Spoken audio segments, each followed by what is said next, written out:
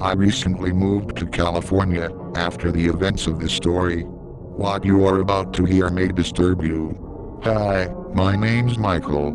I have stumbled across my brother's old Super Mario Brothers cartridge. Out of curiosity, I wanted to play it. I'll document my gamma play experiences.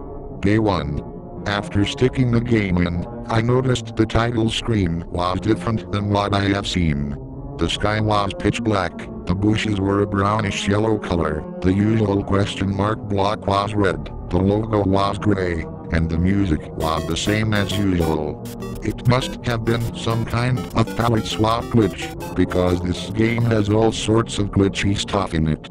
Day 2. I finished level 1 to 1, everything was the exactly the same, but the palette was swapped. Nothing unusual here. Day 3.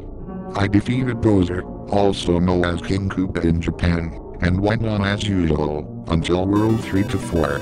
After rescuing the Toad, I noticed that he looked different than before. A part of his head was gone, as if it was eaten, and Toad had no face either. It was even bleeding.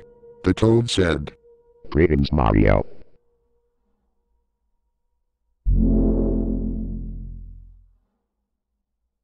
You have sinned.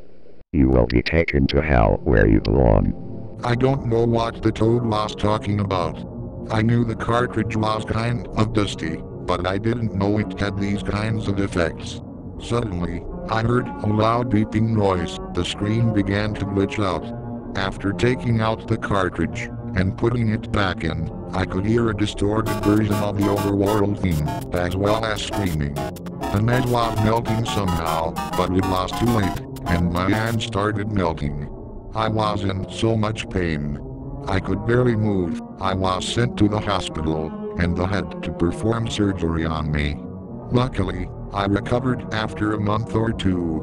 Remember, don't play other people's games. You might not get what you expected.